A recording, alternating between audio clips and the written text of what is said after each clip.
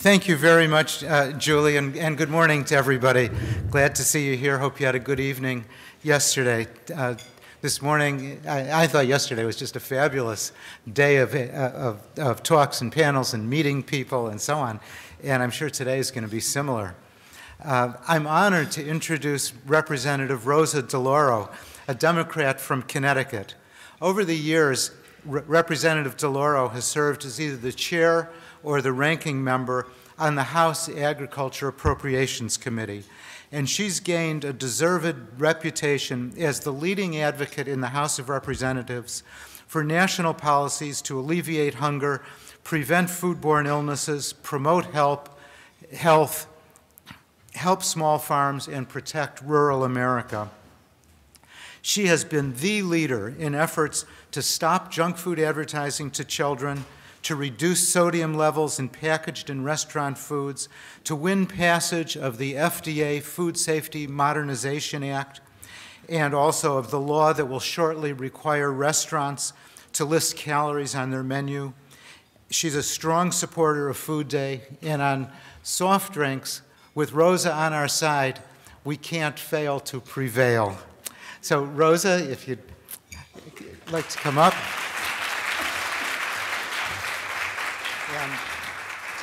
Before you start, I'd like to give you a Life Sweeter Champion oh Award. Oh Lovely picture and, gla glass. I love it. This is fabulous. And if and I didn't have to go to a bank and put money into an account. you didn't even have to give a speech. It's you right. can go I home. I love it. I love it. Thank you. Thank you very, very much. Where, uh, here, I'll put it right here so I don't. Thank you. Good morning. Good morning to all. It's great to be here uh, with you this morning, and uh, uh, I, I, really am very, very excited about the opportunity to be here. And I want to say thank you uh, to, uh, to, to, Michael and to the Center for inviting me to join uh, with all of you today. And more importantly than that, I just want to say that we owe you such a debt of gratitude uh, uh, at the center and every, everyone here for the hard work uh, that you have been engaged in, for your leadership in standing so tall on promoting the crucial issues of health and nutrition and food safety uh, and, uh, and sound science. Uh, just to say, since Michael worked with other scientists to found CSPI some 40 years ago, the center has been standing up for consumers and, and working so hard to make food uh, and beverages healthy and safer uh, for consumers uh, and for American families. Uh, I have enjoyed working with you on so many issues, uh, and I have really counted uh, on the work that you do in order to assist me in my efforts as well. And that's on issues that range from food safety, to menu labeling, to school meals, sodium consumption, and most recently our our Adventure in Food Day. So um, I look forward to working closely together uh, uh, and to continuing that effort. I'm honored to receive the award. Um, I guess a picture is worth a thousand words. I don't know. I know, bad joke, bad joke. What can I tell you? I'm not good at jokes. In any case, but I will take it. It will be in my office, uh, and that's the, the, uh, the, uh, the glass that I will drink from. I thank, it means so much to me. I, I, I can't tell you how honored I am to, to receive the, the award. Uh, and I, I, also want you to know that I take it uh, as a call uh, to continuing to try to help to make a difference in people's lives, which is something all of you do every single day. There are public health officials here today, nutrition ad, uh, activists, advocacy organizations, and I feel like I'm at home, that I am with friends uh, here this morning. Uh, and we are here to talk about what is a critical issue. And I understand that it was a great day yesterday. Um, lots of kudos uh, to you on that. Um, you, you, you know this. We need not mince words. We are facing a crisis in this country. The growing epidemic of obesity is harming both the health and the quality of life for American families, especially our children. Not once, you know, I, I just have to tell you this. This morning, uh, two of my grandkids stayed over last night and was trying to get them ready to get out the door. And the seven year old Rigby said to me, Bubby, what are you doing? I was going over this picture. I says, I'm going to give a speech this morning. She says, Well, what are you going to give a speech on? And I said to her, It's about you. It's all about you and sugar and soda and sugary beverages and so forth. And she said, Will you read part of it to me? And I just picked out parts. I mean, that is what this is about. This is about what's happening uh, in this nation and the effect of, of, of, of all of this on our kids. Not one state met the Healthy People 2010 goal of lowering the prevalence of obesity to 15%. In fact, the number of states where 30% of the population was obese increased from zero in 2000 to 12 in 2010. And even as adult obesity has doubled in recent years, we have seen child obesity triple. One in every three children or adolescents in our nation is now overweight or obese.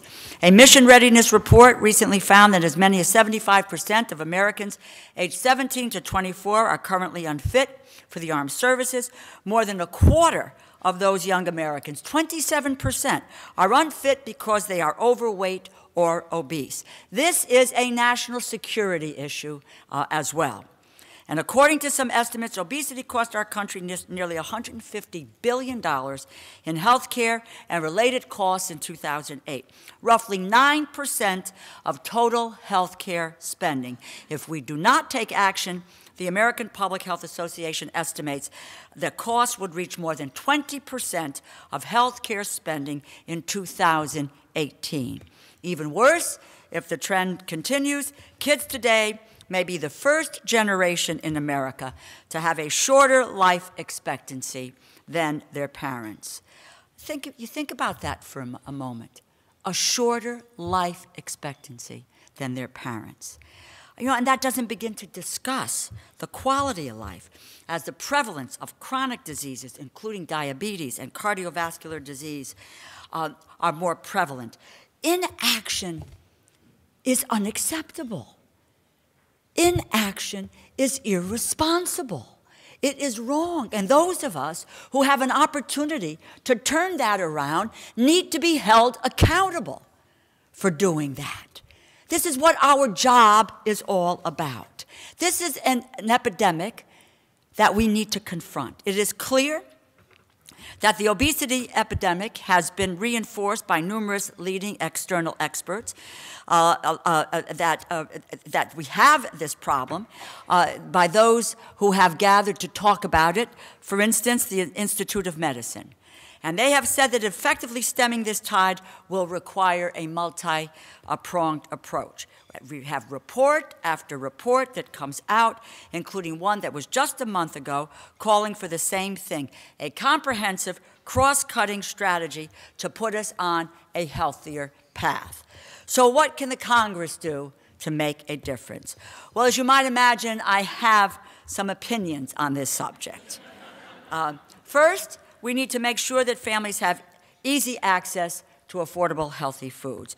We all know that families are struggling economically today, and those who are struggling have a difficult time finding affordable, healthy food options. It's often very difficult, if not impossible, to find affordable, nutritious foods in high poverty neighborhoods. When you do, those few healthy options are often surrounded by a mountain of unhealthy options. So we need to do more to improve access to these foods, to get healthy foods and drinks in front of children. That includes reforming our agricultural and health programs to support the production and availability of these products. We should support programs in the Farm Bill that encourage the production of fruits and vegetables rather than programs that make unhealthy additives like high fructose corn syrup so cheap.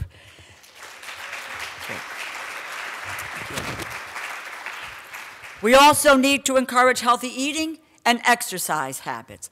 And one great place to do it is in our schools.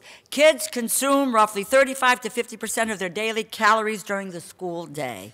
Countless studies have shown that children with access to nutrition breakfast learn more and they perform better in school. Just on that note, let's watch very carefully what is done in the Appropriations Committee in Agriculture uh, and in the Farm Bill that's now coming uh, up for discussion in the Senate about what they are willing to do to nutrition programs, school breakfast, school lunch, food stamps, etc. We need your help in these areas. 18% of high school students in 2007 met the physical activity guidelines. Only a third of them had uh, physical education classes, which have been cut back or eliminated because of the economy. When you think about what is going on in our schools and cutting back on physical education programs. I just read a great paper by the researchers at the Rudd Center that encourages schools to develop and write comprehensive wellness policies um, that include nutrition, education, physical activity. Such policies will go a long way toward fighting obesity and fostering wellness during the school day. And read the report. It's a short report, and it has mixed results about where those plans are well developed, where they're strong, uh, and they're implemented, they have success. But they vary across the country, and we have to focus in on making sure that they are well done, that they are strong, and that they are implemented programs. Similarly, at the end of the last Congress, I and others worked hard to pass the Hunger Free Kids Act, which expanded access to meal programs for at-risk children, improved the nutritional quality of all foods in our schools, and it did this by setting standards uh, about how we move to get junk food uh, uh, out of the classrooms uh, and out of the cafeterias. The First Lady has led on this through programs like Let's Move Salad Bars uh, into schools. The bill also gave the USDA the authority for the first time to regulate competitive foods in schools, the non-school meal products that surround kids while they are at school. The regulations are being fine-tuned. It's imperative that they be strong so the healthy school meals are complemented by a healthier school environment. We need to work together to ensure that they are not weakened by outside special interest groups.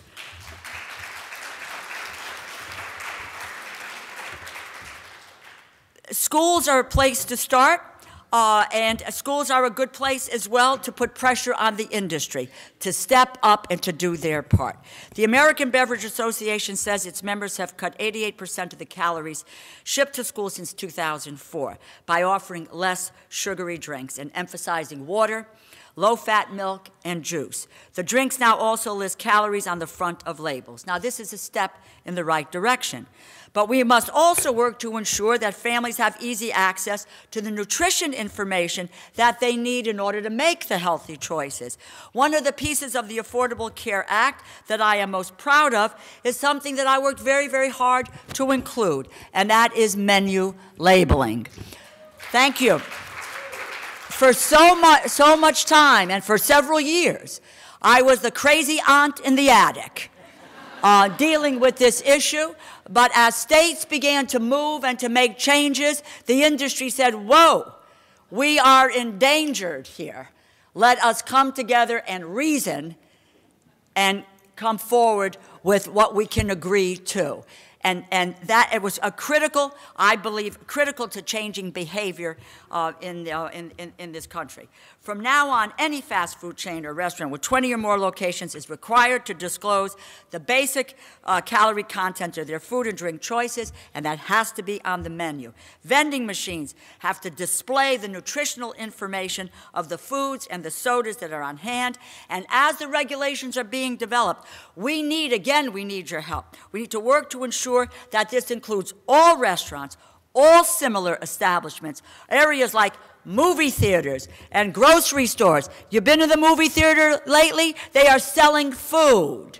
They are selling food and should not be exempted from these regulations. And it is no coincidence that as obesity rates have skyrocketed, skyrocketed uh, Americans have eaten more and more of their meals outside of the home. Families eat out twice as much as they did in 1970. An estimated one-third of calories are now consumed, and almost half of the total food dollars are now spent at restaurants and eating establishments. That's a lot of one's diet, really to spend flying blind in terms of calories. The research has shown not only are many Americans unaware of the recommended calorie intake suggested for healthy living, uh, but consumers and even expert dietitians also have a hard time assessing the calorie level of a fast food meal just by sight. A study conducted by NYU and the center found several years ago that even nutrition professionals consistently underestimated a meal's calorie count by 200 to 600 calories. Thanks to the Affordable Care Act, consumers will soon have the information they need up front to make nutrition decisions. A study by the New York City Department of Health and Mental Hygiene, where menu labeling went into effect in 2008, found clear evidence that people who saw the calorie information bought uh, food that had fewer calories. Better information works both ways. In California, where menu labeling has already gone into effect, we have seen restaurants offering more healthy choices, making other items on their menu more health conscious in preparation for the calorie information being more available for public consumption. You know, when restaurants begin working to compete over the best low calorie options, everyone will benefit. But another part of making sure families are getting the nutrition information they need is to making sure that the information is accurate. Many of you know, a few years ago, the food industry created its own labeling system called the Smart Choices Program. To qualify for a Smart Choices label, a food product had to meet a set of criteria that was based on FDA dietary guidelines that suggested it was a healthy option for families. But there was a catch.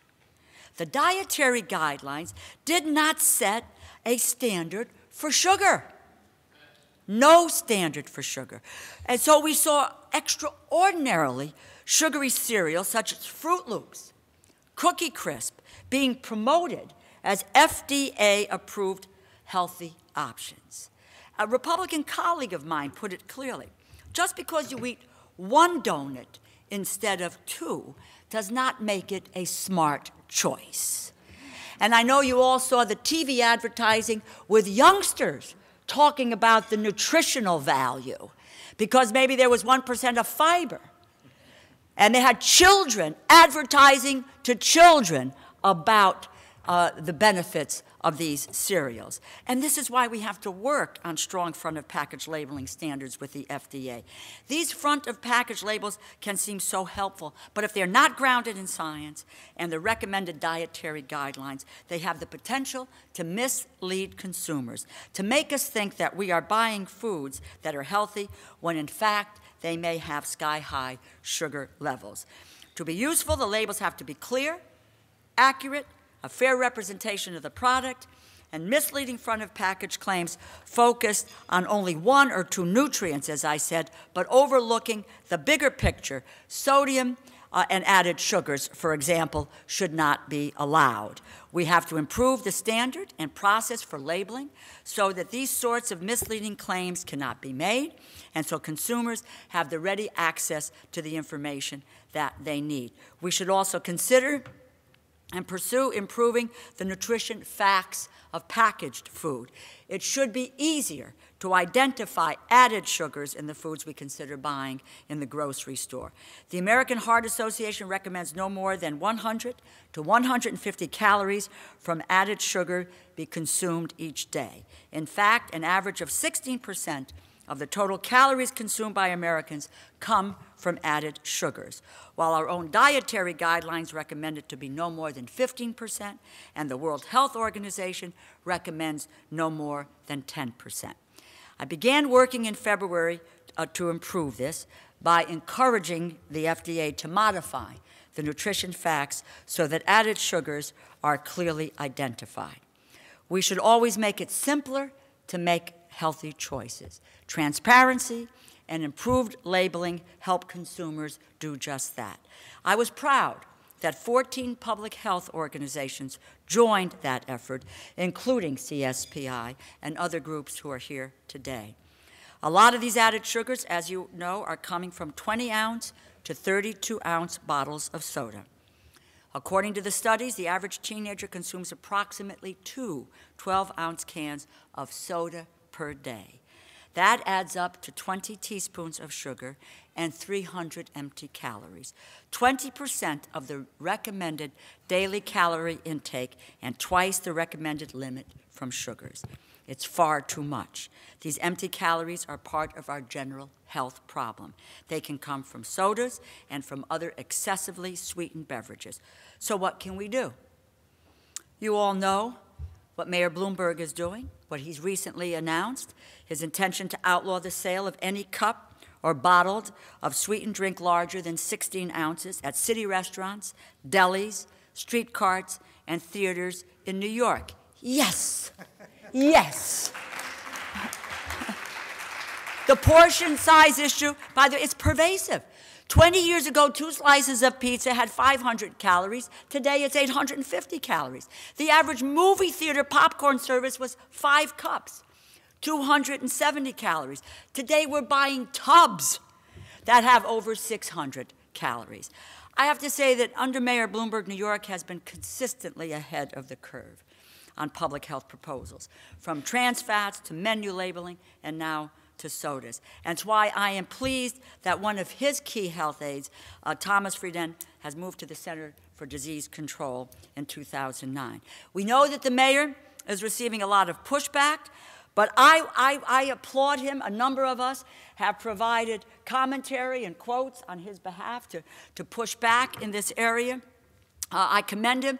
As I say, it is always going to be an uphill battle to make these tough stands, to be able to make progress in our efforts to stem obesity uh, and this, this epidemic in our country.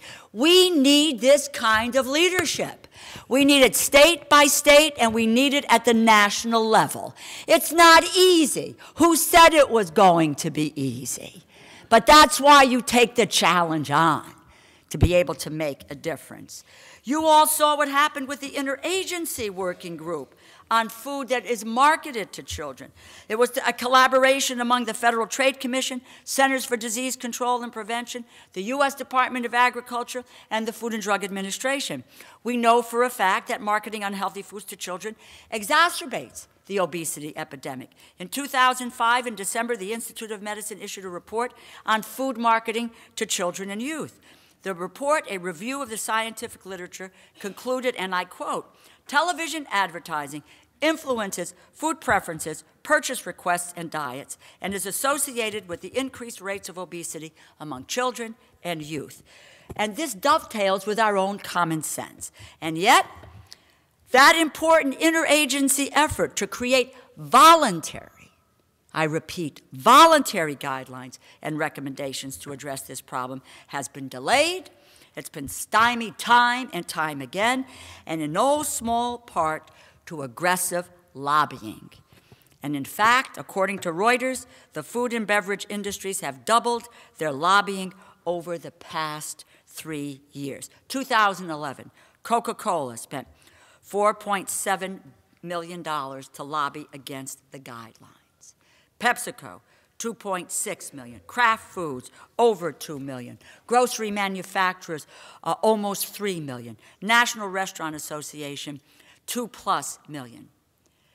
To be fair, our friends here at the Center for Science in the Public Interest paid $70,000 last year to lobby on behalf of healthy foods. Now, that's what the food and beverage industry paid every 13 hours. It's humorous, but that's what we are up against. You've seen the ads in the Post. You take a look at what's in Congressional Quarterly. It's a lobbying onslaught. But you know that bodes well for our activity. It bodes well for our activity.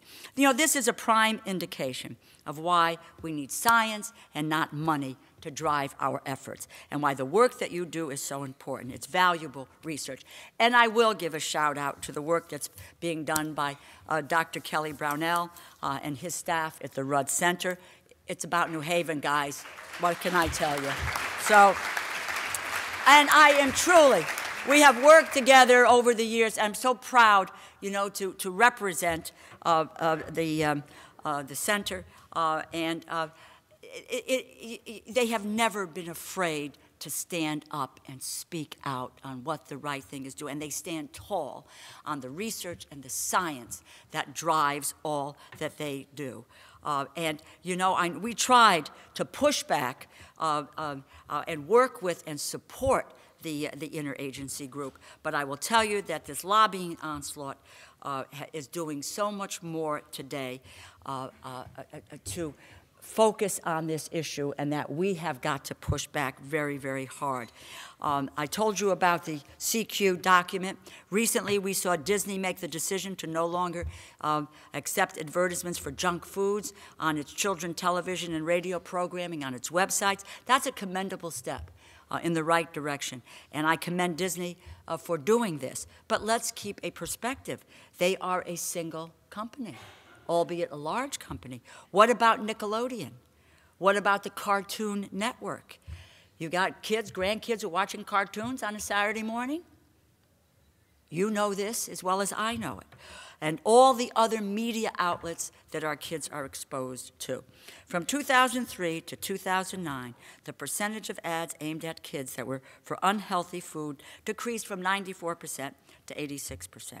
It's not enough we have to do more to push the industry to do the right thing. And one step that Congress can take on that front is to eliminate the tax deduction for marketing unhealthy products to children. We may not be able to prevent the industry from pushing unhealthy products on kids, but at the very least, we should not be subsidizing them from the federal level. That is not what our responsibility is. We should not question uh, the, uh, the experts that tell us we need to improve the messaging and the marketing environment. We should not be limiting the actions of groups like the Interagency Working Group. Instead, we need to encourage them, support stronger science based policies that will improve the media environment that we all live in and that influences our decisions. Along with advertising, we must also address the situation in the marketplace. There is no reason that the least expensive beverages are often those with the least value to our health. Things like regular cola or juice drinks that are only 10% juice. This is not just a soda problem, it extends throughout the grocery store. Produce, produce should be just as accessible to each American as processed foods and carbohydrates. When a two liter cola is 99 cents and fruit juice is $3.49, we know where the consumer is going to put their money. So we should consider policies that will make healthier foods more competitive and easier choices for everyone. And yes, that should include looking at a tax on high sugar drinks like sodas. We know a soda tax would be an uphill climb. But we need to consider all the options that could make the healthy choices more affordable and that would encourage the marketplace to reflect soda's true cost. If there was ever a time when we can move on this effort, it is now. So we can't, we need to be relentless in pushing forward. 33 states have some level of soda tax right now, averaging roughly uh, about 3% but they tax it mostly in the way that, uh, that they deal with food overall.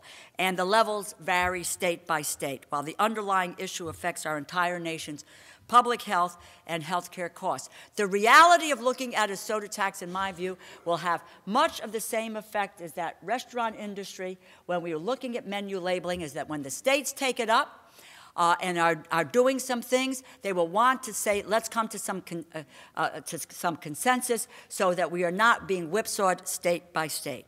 We know that added sugars are a key source of empty calories in our diets, and that sodas and other drinks are the number one source of those sugars. We should not stand by as an ever increasing number of Americans suffer from diabetes, cardiovascular disease, as the prevalence of obesity continues to increase. And I might add, it, it explodes the cost of health care. We are each responsible for making healthy choices for ourselves and our families. And these are very, very personal decisions. But we have to recognize what science tells us that these decisions are heavily influenced by our environment.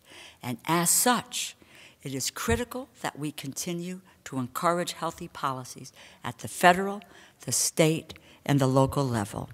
And this is why the work of CSPI and of others, what you do is so powerful. You are helping to push us all to a better place, to improve the policy and regulatory arena, to make healthy choices the easy choices, to make health food accessible and affordable across the country, not junk food and sodas, but safe and healthy produce and other food products. As we in the Congress must work with you to improve policies across the spectrum. And that is in the Farm Bill, in the Agricultural Appropriations Bills, in our tax code, in the very types of research that we support. We cannot stand by. We have a moral responsibility to engage. That is what our job is. If it isn't, send us all home. Send us all home and find a group who will take on the issues. We cannot stand by and wait for obesity rates to keep rising, or wait for another report from the Institute of Medicine to tell us what we already know. Obesity is a national crisis, and we must act now. Thank you very, very much for listening to me this morning. Thank you. Thank you. Thank you. Thank you. Time for some questions? I do, I didn't know, yes, Great. I do. Sure. I want to get Kelly up here also. Okay. Mm -hmm. Thank you. Thank you. Thank you.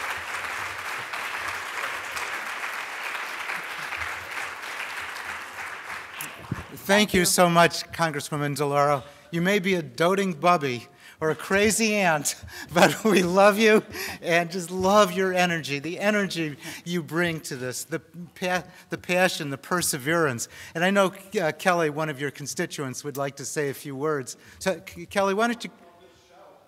No, come up, come up here, Kelly. Oh, there's the He's got a microphone. mic, he's got a mic. Wait. Wait, we got a mic. Thanks. I happen to live and work in the district where, where Rosa resides and, and represents us all. And there are 435 members of the House of Representatives, and there's no greater champion for the defense of children, for the protection of people, for food and food policy issues and food safety issues. So, what a wonderful job you do, and God bless you, and we all support you. Thank you very, very much. Thank you. Thank you. Thank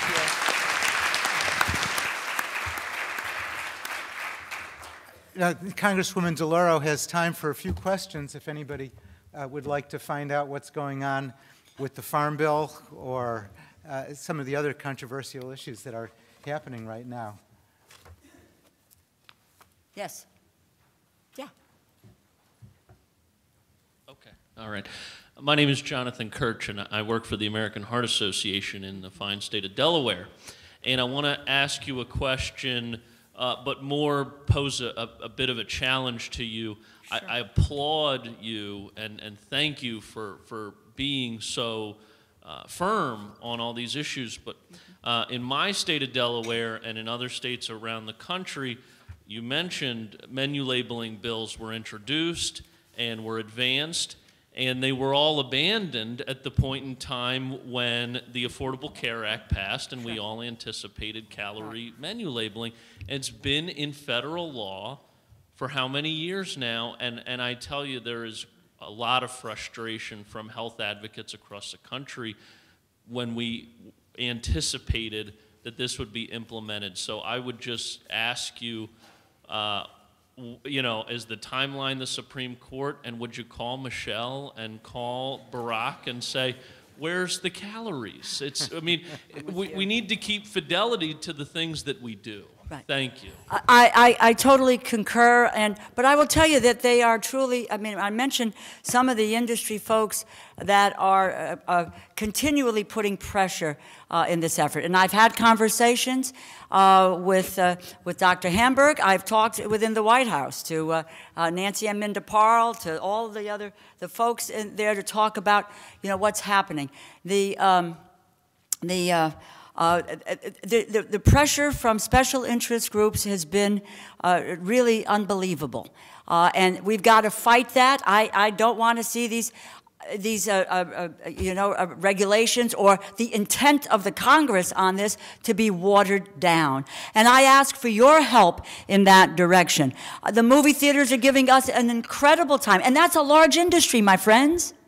It's a very large industry. But I said, you go to movies, you take your kids to movies, it's nachos and cheese, the size of the sodas, it's the, the, the tubs of the, the popcorn. They want to say they're not in the food business. They put themselves in the food business, and we need your help. And one of the things I also want to say to you is, you know, some of the states did have stronger measures, and I realized that. And that was heartbreaking to me, but getting a national standard is incredibly important to make sure we are doing this nationwide, and on that, we can, we can, we can build. Uh, and so I, I will tell you, listen, I think I stopped in Delaware on my way driving back, and I don't know, I, I went and looked, uh, my husband and I were there, and I looked, and there was, I may have been Burger King that was in there, and I looked at the, and there were no there were no uh, uh, calories listed. So I said, "Where are the calories?" They said, "Well, you know, you can you can uh, uh when we you, you, can get it when you get your um, you know your your uh, meal." I said, well, it doesn't do me any good if I, I know that. I, so I just made my point. But, there, but then I wrote a letter. I wrote a letter to the, you know, to the president of the company. I said, unfortunately for you, I stopped in Delaware at your, your place. But I mean, we've got to keep the pressure on, on this, uh, on the agencies, the federal agencies, and it's bothersome to me, but we also need to help to provide that, that strength that doesn't allow these special interests to change the direction of what our intentions were. Thank you. I'll take a couple more, then I have to have okay. a press conference. Um, any other questions? Any other questions? Yes, right here. Hi, I'm Erin Hagen from PolicyLink. Uh, first, I just want to yes. say on behalf of Judith and Angela and myself, thank yes. you so much for being You're such great. a champion on the Healthy Food Financing Initiative. Um, and we we've talked a lot, and you talked this morning about how much the industry is spending on marketing and on lobbying, and, uh, and then how much social justice organizations and, and uh, public health organizations are able to spend. So I think it's unlikely we'll ever compete on a dollar amount, but what can we do? What are, what are things that can be done? Let me just tell you, you have, you have networks of people most recently, take a look at what happened with the, uh, the issue on beef and the um, description of the, um, uh, the, the portions of the beef that were regarded as what they called pink slime. Okay, They've been, they were, it was identified as pink slime. It was a, a, a mother got on a blog all over the country, went viral. USDA says now that they, the, the, the industry uh, they, they can, schools can take it, not take it. They changed behavior, in other words. You have networks of people.